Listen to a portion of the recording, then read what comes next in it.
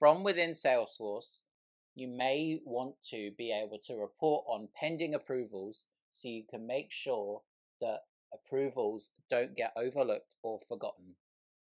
As a Salesforce admin, you can create a custom report type to help facilitate this. From Salesforce Setup, navigate to Report Types to start creating a custom report type. From here, let's press New Custom Report Type, and we want to select our object as Process Instance.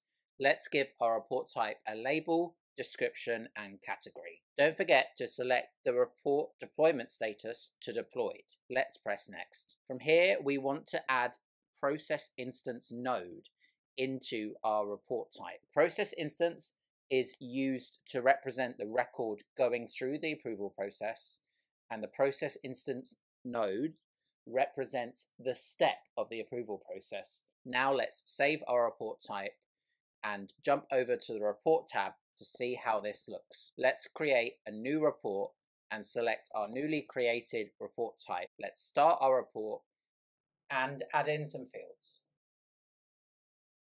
So you can see the approval steps, the status of those, the approval step name, object type, and the elapsed details as well. As this is a standard Salesforce report, you can add additional filters here. So if you wanted to only show pending steps, then you could add the necessary filters. Something to note is that using a report, you can't see who the current approver is.